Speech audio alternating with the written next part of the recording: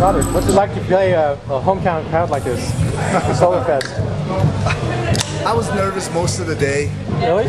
Well, yeah, because so many people know the music, and then and it's it, it's risky. It's it's risky, but it's it's enjoyable once you get up there and start to to vibe the whole thing out.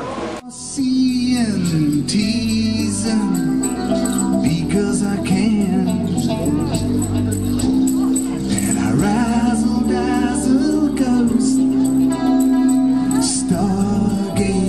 through the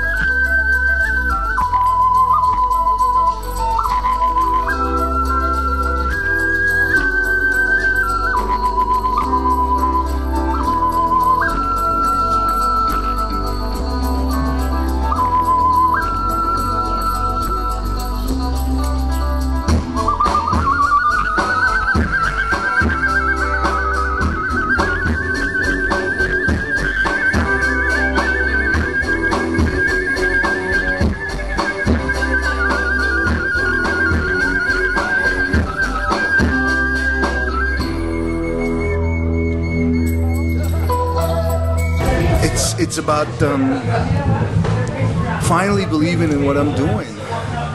I don't really.